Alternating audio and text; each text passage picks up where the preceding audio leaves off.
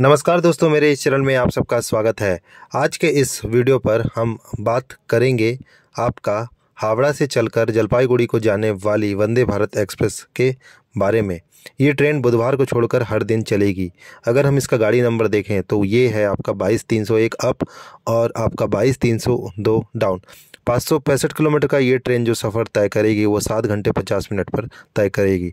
हावड़ा से ये ट्रेन आपका सुबह पाँच बज के पचपन मिनट पर निकलेगी और उसी तरीके से जलपाईगुड़ी जो आपका पहुँचेगी ये ट्रेन वो पहुँचेगी आपका एक बज के पैंतालीस मिनट। और उसी तरीके से अगर गाड़ी जलपाईगुड़ी से निकलेगी दो बज के पचास मिनट तो आपका दस बज के चालीस मिनट रात को हावड़ा पहुंचेगी। चलिए बीच के स्टेशन का हम देख लेते हैं। हावड़ा से ये गाड़ी अगर पाँच पचपन पे निकलती है तो ये न्यू फरक्का नौ बज के छप्पन मिनट। उसी तरीके से मालदा टाउन आपका दस बज के चालीस मिनट और साथ ही एक बज के पैंतालीस मिनट पर आपका जलपाईगुड़ी।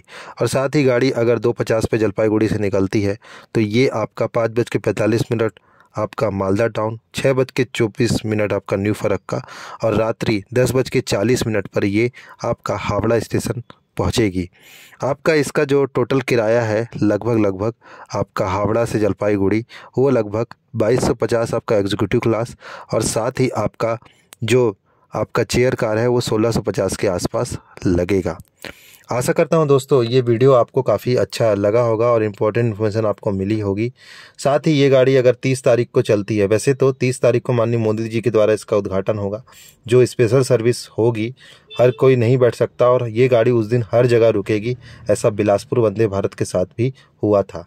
और साथ ही एक जनवरी 2023 से ये ऑफिशियली चलेगी। इस गाड़ी के केवल दो स्टॉप रहेंगे। आशा करता हूँ वीडियो आपको अच्छा लगा होगा।